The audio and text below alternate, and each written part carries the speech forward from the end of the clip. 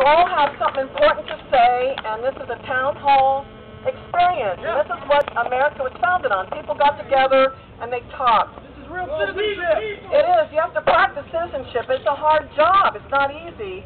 And I just want us to think about, be careful about everybody's, all this is bad and all this is good. It's not all one thing or the other, and it's not one political party or another. It's basic principles and the lack of knowledge about the Constitution, but I want you to watch C-SPAN. I've been watching it for a year, and I have to tell you, these senators and congressmen are fighting hard for us.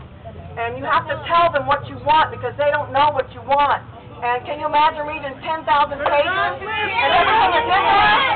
They don't have time.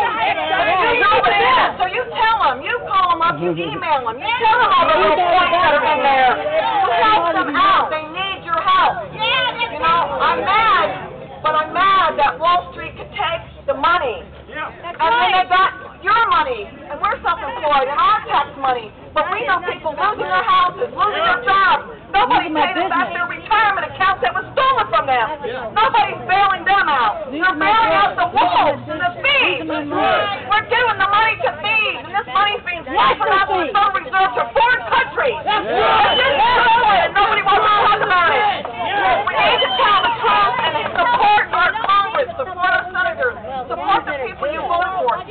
freedom. And Obama's a good president. He needs your help to know what the truth is.